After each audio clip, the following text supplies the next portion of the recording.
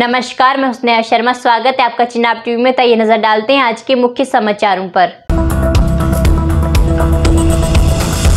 आम आदमी पार्टी ने आज जिला डोडा में भाजपा सरकार का कड़ा विरोध किया।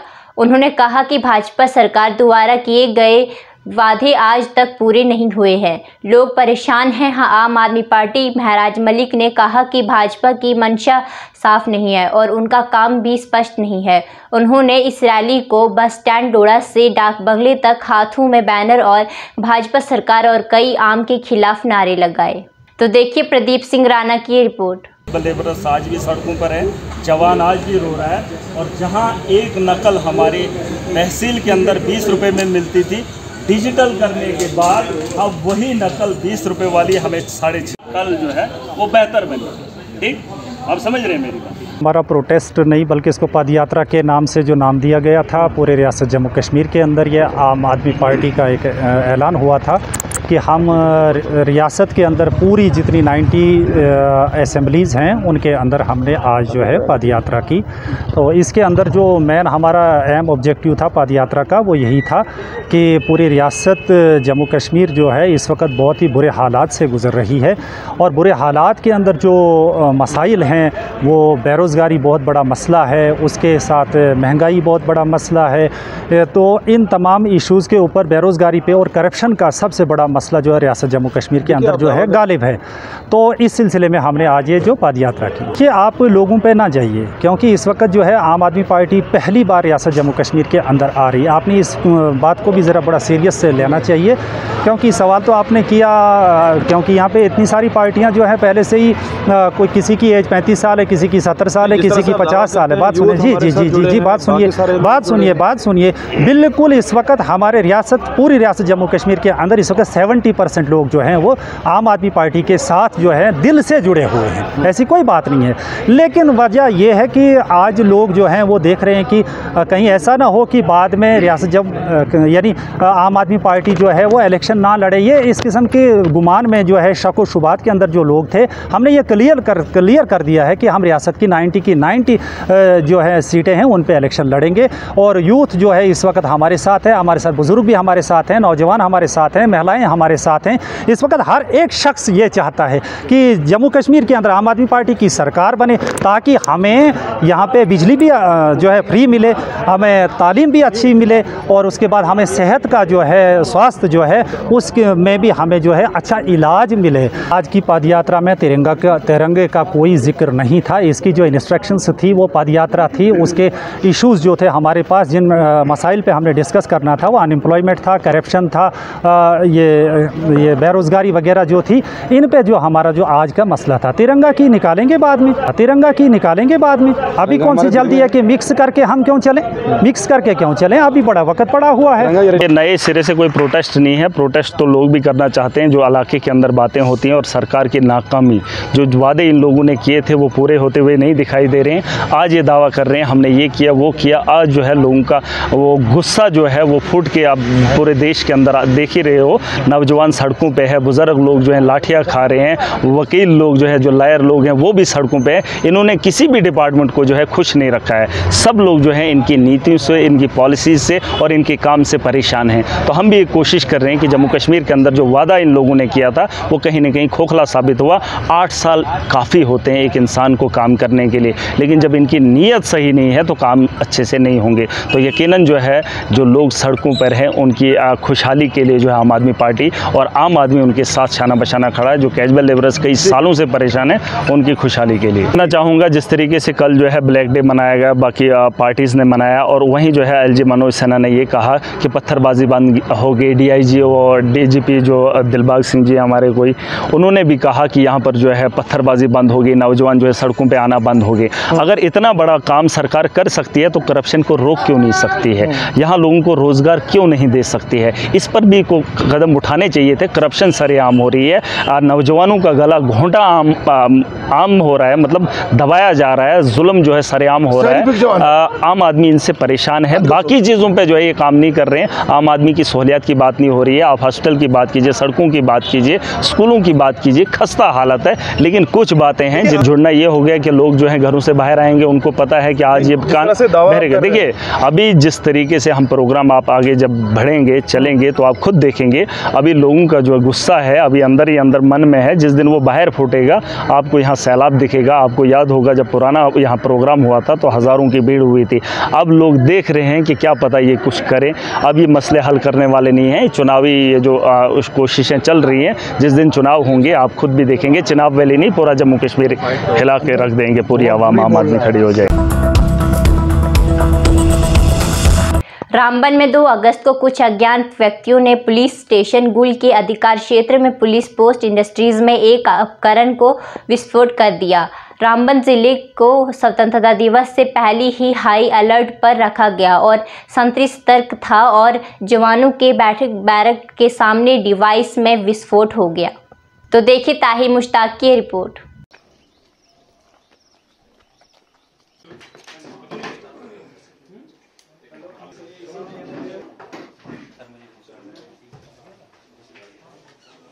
We're giving you all a brief of the uh, press conference uh, today.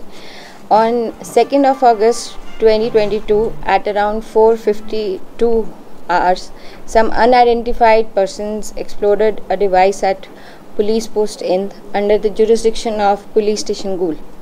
Raman district was already put on high alert in the run-up to Independence Day, and the sentry was alert due to which the terrorist exploded the device in front of the barrack of Javans but could not succeed as he fired a round immediately when he heard the blast. Due to this explosion, two police personnel, namely follower Lal Singh, 55F, and SPO Shakil Ahmed, 23 belt number, sustained minor splinter injuries. The unknown terrorist, taking advantage of the darkness, fled from the spot on this, a case FIR number 69 2022 under section 307 120B 121 IPC uh, and Explosive Act was registered in police station Ghoul and investigation was taken up.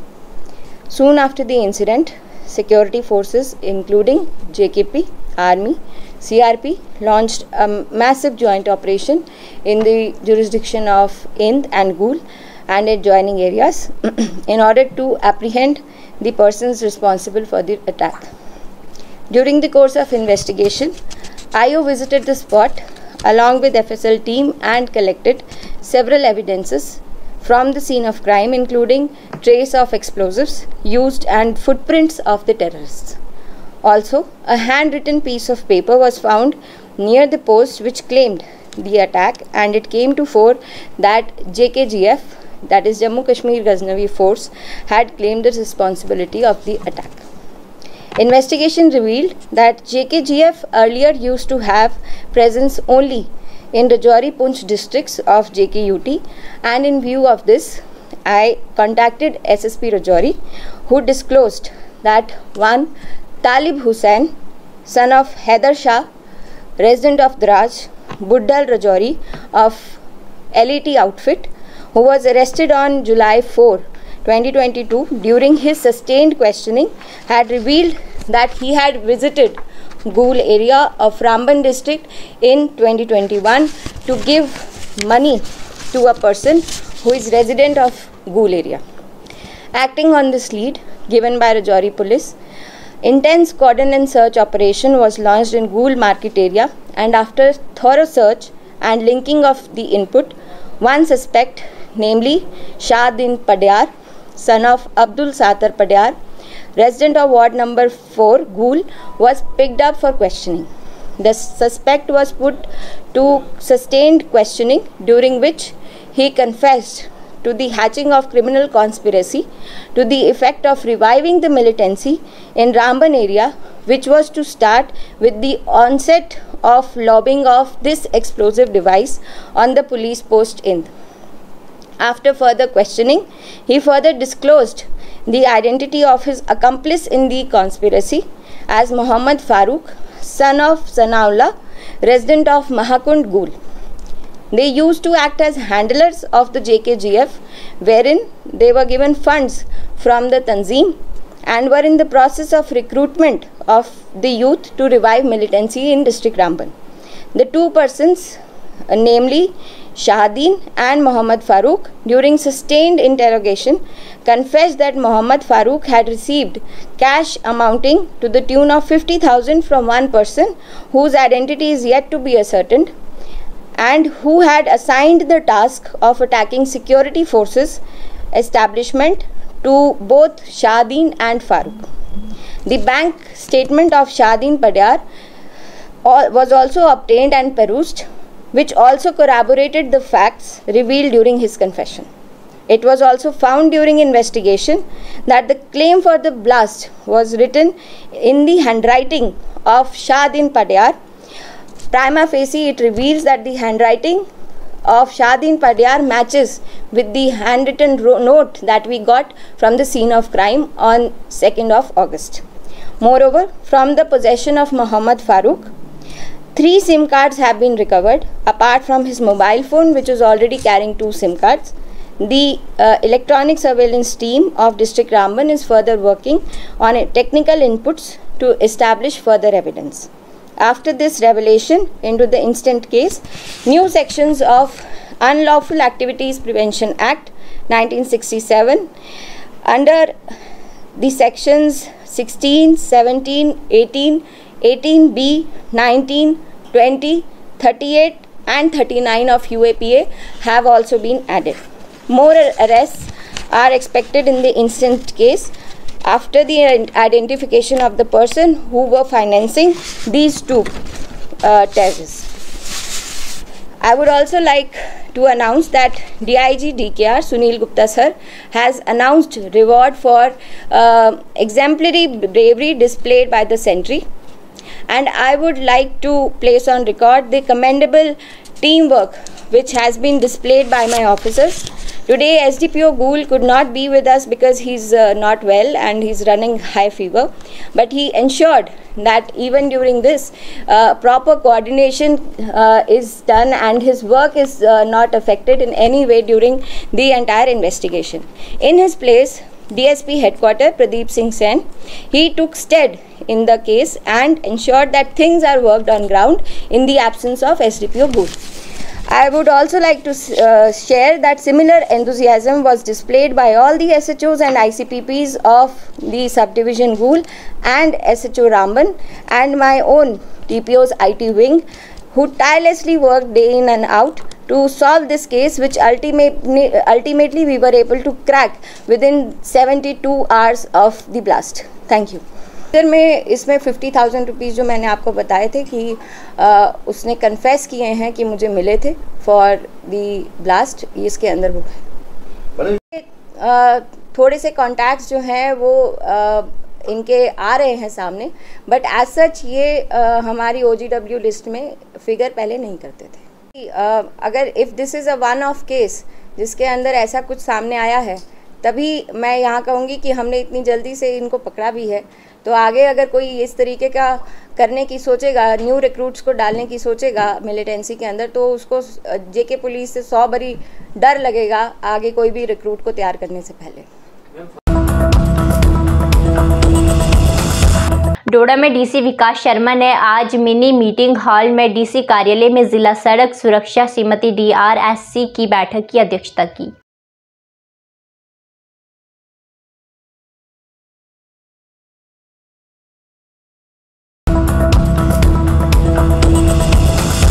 Kishtwar में युवाओं और सेना के बीच दोस्ती के मौजूदा बंधन को और मज़बूत करने के प्रयास में भारतीय सेना ने युवाओं के लिए पंद्रह दिनों की लंबी कैरम बोर्ड प्रतियोगिता आयोजित करने की पहल की।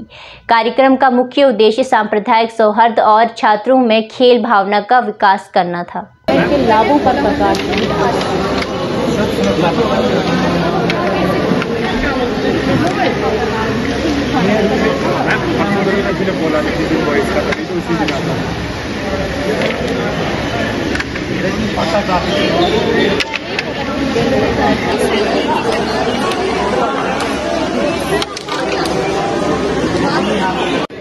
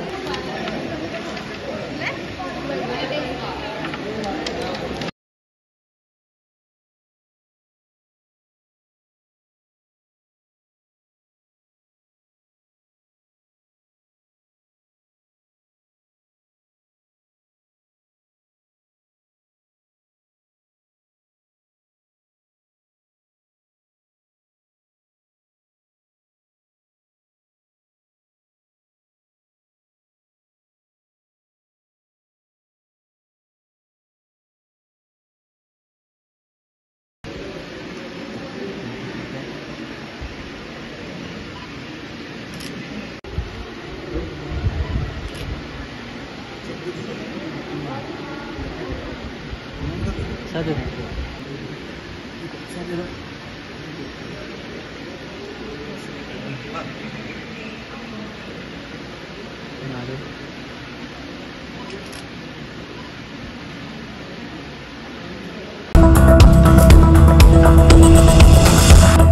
के हायर सेकेंडरी स्कूल में डिप्टी कमिश्नर रामबन की डायरेक्शन में एक zonal level quiz competition event organise किया गया, जिसमें पाँच अलग अलग स्कूली बच्चों ने भाग लिया।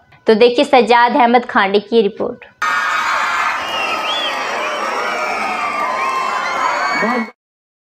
आज जो आपने यहाँ पे क्यूज कंपटीशन में जो पार्टिसिपेट किया, कितना एक्सपोजर इस तरह के प्रोग्राम से मिलेगा? जी फ़र्स्ट ऑफ़ ऑल मेरा नाम आयशा अख्तर है। मैं क्लास एलेवंथ आर्ट्स स्ट्रीम से हूँ। तो इस क्विज़ के बारे में मेरा यही कहना है कि ये हमारे लिए बहुत बेनिफिशियल है। अगर हम इस क्विज़ में हार भी जाए बट ये हमारे तभी बेनिफिशियल क्योंकि हमें जो चीज़ें पता नहीं होती, इससे वो चीज़ें हमें पता चलती और हमें हाई लेवल्स की जो ये क्विज़ होती है, इनके बारे में पता चलता है। इस ज़िंदगी में, इस स्टडी में करिकुलम के साथ कोकुलम भी होना ज़रूरी है ताकि हम अच्छे से सभी चीज़ें सीख सकें। पहला मेरा नाम फैसान है। पहले जब हमें सवाल पूछे जाते थे तो हम उससे डिस्कस करते थे और डिस्कस करके फिर कोई एक खड़ा होता था जवाब देने के लिए। यानी मिल के करते थे। जी। आप बताए कितना कुछ एक्सपोजर मिलेगा इस तरह के जो प्रोग्राम्स वगैरह जो इवेंट्स ऑर्गेनाइज होते हैं? अगर हायर सेकेंडरी स्कूल खड़ी की बात की जाए जहाँ पर इस तरह का प्रोग्राम शायद ही पहली बार देखने को मिला। मेरा नाम आबिद नाइक है, मैं क्लास टेंथ में पढ़ता हूँ। देखिए कि ये ये जो क्विज़ कंपटीशन है एक बहुत ही अच्छी बात है। जब ये हमने सुना कि खड़ी हायर सेकेंडरी में ये क्विज़ कंपटीशन हो रहा है तो ये बहुत ही अच्छी बात है। इससे इंसान, इससे स्टूडेंट की नॉलेज पता चलती है कि स्टूडेंट के पास कितनी नॉलेज है, क्या है, और स्टूडेंट इससे बहुत कुछ सीखता है, और और मैं यही कहना चाहता हूँ कि एक जो फिलासफर थे, उसने कहा था कि नॉलेज इज़ ए पावर और थैंक यू मेरा नाम अब्दुल रोहत है और ये होने चाहिए कि यूज़ कंपटीशन होने चाहिए, इससे नॉलेज बढ़ती है। हर लड़के को इसमें हिस्सा लेना चाहिए। तो मैं शुक्रिया करता हूँ सब स्कूलों का जो बहुत दूर दराज इलाके से आए और यहाँ हिस्सा लिया। तो बाकी लड़कों को भी चाहिए, वो भी इसमें हिस्सा ले। तो नॉलेज बढ़ती है और आगे जाके बहुत अच्छा सीख मिलती है यहाँ पे और बाकी सब लड़कों को आना चाहिए और इसमें हिस्सा लेना चाहिए। आपकी स्कूलिंग कहाँ से हुई है? स्कूलिंग में शुक्रगुजार हूँ मोहम्मद मॉडल की उन उस्तादों का जो बेस उन्होंने बनाया अच्छा बेस वहाँ से और फिर यहाँ के high secondary government high secondary के उस्ताद जो है बहुत अच्छे काबिल उस्ताद हैं यहाँ पे। उनका भी शुक्रिया करना चाहते हैं कि अच्छे पढ़ाते हैं लेक्चरर्स भी हैं। जैसे वो आप नक्सल में बताइए। मेरी मैं टेंथ क्लास में पढ़ता हूँ और मेरी स्कूलिंग मोहम्मद मॉडल स्कूल खड़ी से हुई है। और मैं बहुत ही प्राउड फील करता हूँ कि मैंने मोहम्मद मॉडल स्कूल के जो टीचर्स हैं उनके पास पढ़ा है और मैं उनको यही दुआ करता हूँ अल्लाह से कि उनको अल्लाह एक लंबी उम्र दे। आप बताए बेटा। मैंने भी अपनी मिडिल एजुकेशन जो है मोहम्मद मॉडल से हासिल की है और हायर सेकेंडरी एजुकेशन जो है मैं यहाँ हायर सेकेंडरी स्कूल खड़ी से ले रहा हूँ। मोहम्मद मॉडल में जो हमें टीचर्स मिले वो भी बहुत अच्छे थे और यहाँ पे भी बहुत अच्छे हैं जिनकी वजह से हम आज यहाँ आप बता बच्चे आप की जो स्कूलिंग हुई है वो कहाँ से हुई है? मेरी स्कूलिंग वो भी मिडिल स्कूल थाना से हुई उसके बाद मैं नाइन्थ टेंथ में रामन नेशनल अकेडमी से पढ़ा और अब मेरी सही स्कूलिंग हायर सेकेंडरी में लेकिन मैंने जि, जिस टीचर के पास पढ़ा हर एक ने अपनी first of all I would like to thank you that you have come here and you cover the whole event and I would also like to thank deputy commissioner Ramban and chief education officer Ramban who had desired that a quiz contest be held in all the zones of district Raman. And we took the initiative then. After that, we made necessary preparations for this quiz contest and hopefully today this quiz contest ended successfully in which five teams from zone Khadi participated. So I would like to tell everybody because you see that uh, civil society members, persons of local standing, students and several other people witnessed this great event. So such kind of competitions create a kind of awareness among the students and uh, inculcate the competitive spirit among the students which is the need of the hour क्योंकि पहले शायद बच्चों को थोड़ा बहुत उतना exposure हासिल नहीं हो सकता था लेकिन आज टेक्नोलॉजी की वजह से उसकी मदद की वजह से बच्चों में आज बहुत ज़्यादा ये एक उत्साह बढ़ा था। तो अभी बच्चे हमें यहाँ बता रहे थे कि सर अब हम 15-15 20-20 दिन के बाद जो है ये कॉन्टेस्ट किया करेंगे। So that was really a great sign for all of us that all the teams and even particularly the students of this school they are very much interested in such kind of competitions तो मैं तमाम बच्चों का जिन्होंने participation की, तमाम लोग जो यहाँ पे आए, कहीं जहाँ से भी लोग आए थे इस इवेंट को देखने, मैं तमामों का शुक्रिया अदा करना चाहता हूँ that they gave us the opportunity to thank them and we we did our best we did our best to hold this all important event देखिए, ये आज जो क्विज़ कंपटीशन हुआ ये असल में डी साहब की डायरेक्शन थी। डी साहब की डायरेक्शन हमें सी साहब की वसात से पहुँची और छः तारीख उन्होंने मुकर किया था आज का दिन। तो इसमें जो इंस्ट्रक्शन थी कि अपने हायर सेकेंडरी के साथ जो है कुछ हाई स्कूल्स को मिलाया जाए तो मैंने तीन हाई स्कूल्स को इसके साथ इन्वॉल्व किया। हायर सेकेंडरी महू और हायर सेकेंडरी खड़ी और इस तरह से पाँच ग्रुप हमारे पास थे इस कंपटीशन में हिस्सा लेने के लिए। तो मैं समझता हूँ, जो कुछ हमें देखने को मिला इस क्विज़ कंपटीशन से, मुझे इतनी उम्मीद नहीं थी कि बच्चा इतना हिस्सा लेंगे। मतलब इतना मतलब उनके पास है। यानी मुझे ख्याल था, शायद ये हर सवाल में ना ना करेंगे, लेकिन यानी हमारा दिल बाग बाग हुआ बल्कि जो भी हमारे साथ शरीक कार थे मेहमान ग्रामी थे, हमने यहाँ मौजूद शहरीों को भी बुलाया था और हमने तहसीलदार साहब को भी दावत दी थी और सब इंस्पेक्टर साहब को भी दावत दी थी। इस तरह से बीडीसी चेयरमैन वो आए थे और दूसरा डीडीसी पर्सन यानी बहुत से लोगों को बुलाया था। लेकिन हर एक ने, हालाँकि 11 बजे 12 बजे से ये कंपटीशन स्टार्ट हो गया और चार बजे के आसपास ये ख़त्म हुआ।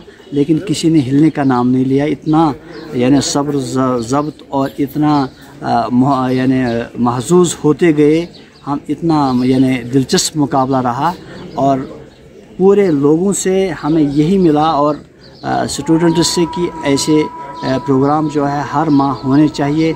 अगर हर माह नहीं, हर दो माह में ऐसे होने चाहिए।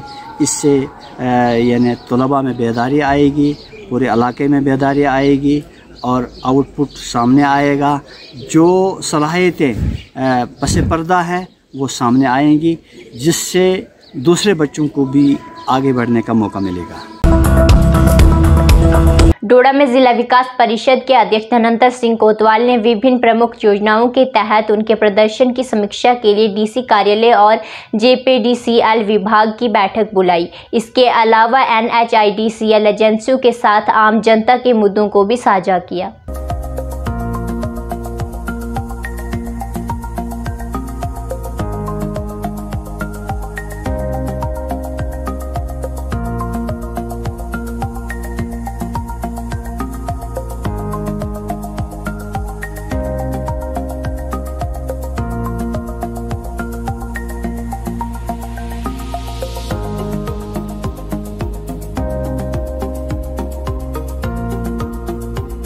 आज के हिंदी समाचार यहीं पर समाप्त होते हैं। धन्यवाद।